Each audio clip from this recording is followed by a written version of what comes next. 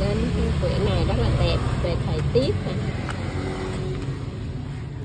mình sẽ cùng khám phá từ điển sống về chủ đề thời tiết nha.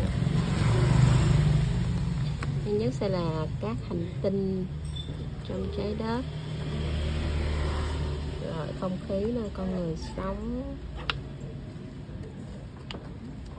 cái này là gì ta Đây cái cửa à mấy cái nhiệt kế áp kế la bàn hay nước gì đó.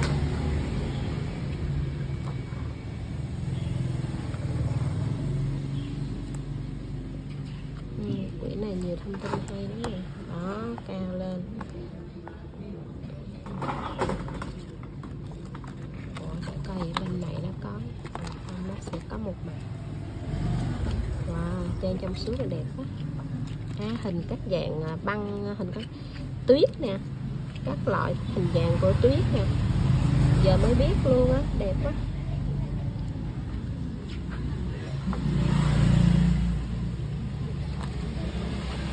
Sương mù sương mù bao phủ nè mở ra như thế nào nè.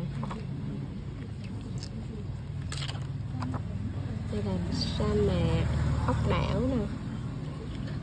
Đó phủ lên trời hay quá họ thiết kế rất là logic luôn á.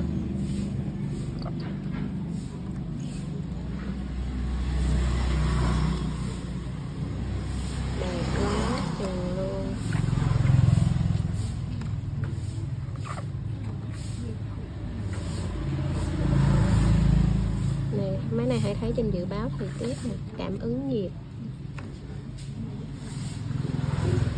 Dựa trên thời tiết khí hậu, mình sẽ có phân bổ các loại động thực vật khác nhau nè.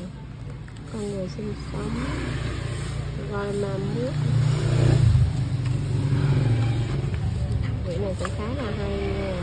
Để coi sticker còn nhiều không? Cũng còn hai cái.